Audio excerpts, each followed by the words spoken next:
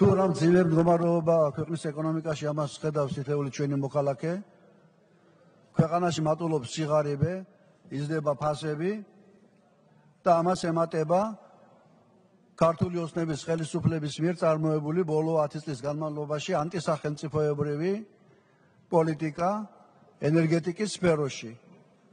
როდესაც ქვეყანა გახდა დამოკიდებული რუსეთზე და სერიოზული პრობლემები ჩდება ქვეყნის ეკონომიკური უსაფრთხოების კუთხითაც. ეხლა გაგვახარა პრემიერ-მინისტრმა რომ ბორჯომის საკითხი მალე გადაწყდებაო.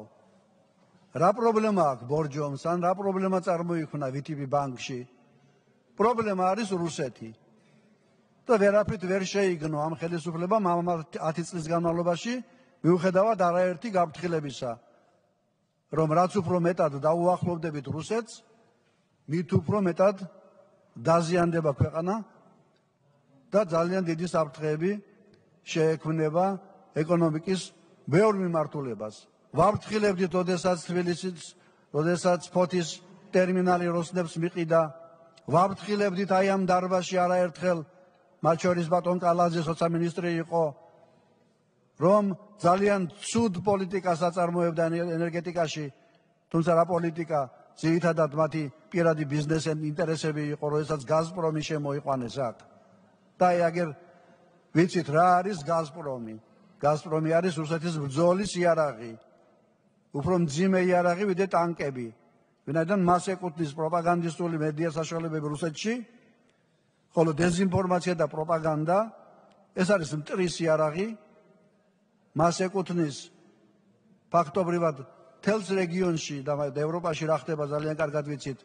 გაზის ექსკლუზიური მიწოდების უფლება და როგორი ზემოქმედება ხდება უკრაინის აგრესიის შემდეგ ჩვენ ხედავთ და დღეს საქართველოში ამ პირველ კვარტალში 191 მილიონი ლარი დოლარის გაზი იქნა შეძენილი და აქედან 32 მილიონი დოლარის ღირებულების გაზის იმპორტი მოახდინეთ რუსეთიდან, ანუ გაზპრომიდან.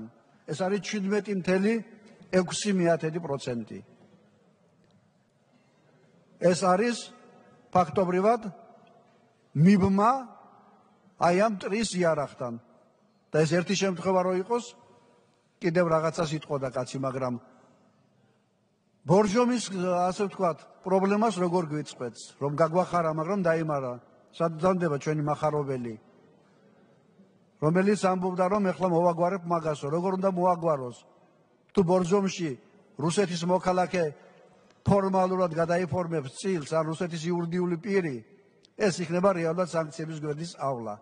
არც VTB ბანკში, არც ბორჯომში და არც ერთ სხვა ისეთ კომპანიაში, რომელიც სავარაუდოდ შეიძლება სანქციის ქვეშ იქნას აღმოჩენილი, რუსეთის არც ერთი ინვესტორი არ უნდა იყოს მასთან გაკარებული.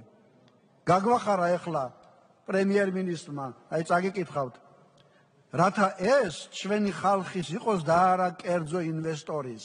და იცით რა არის ეს?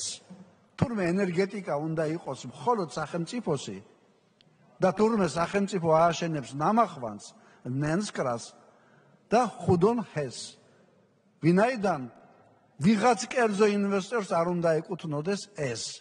ეს არის ციტირებას ვაკეთებ. მე ახლა ღარიბაშვილის განცხადებიდან. და თანაც აი ასევე ციტირებ.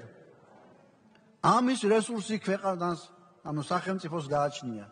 რომელი რესურსი გააჩნია? ეს ხომ აბსოლუტური ასე ვთქვათ ბლეფია 3 მილიარდი დოლარის ინვესტიციას ენერგეტიკაში. სახელმწიფო განახორციელებს რომელიც ვალებით არსებობს და რაც არის საქართველოს ბიუჯეტის ნახევარი 3 მილიარდი არის 10 მილიარდი ლარი 10 მილიარდი არის ჩვენი წლიური ბიუჯეტის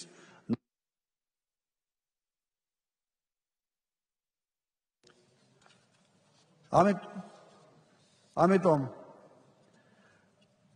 როგორც მიგვაბეს რუსეთის ენერგეტიკას და მთავარი იმპორტიორი გავხდით ახლა ელექტროენერგიის ასევე კეთილინებოს ხელისუფლებამ და არც ერთი რუსული კაპიტალი არ არ გააკაროს ისეთ დარგებს, როგორც არის კრიტიკული ინფრასტრუქტურა და სხვა სფეროები, სადაც შეიძლება რუსეთის პოლიტიკური გავლენა იქნას ქვეყანაზე გაძლიერებული.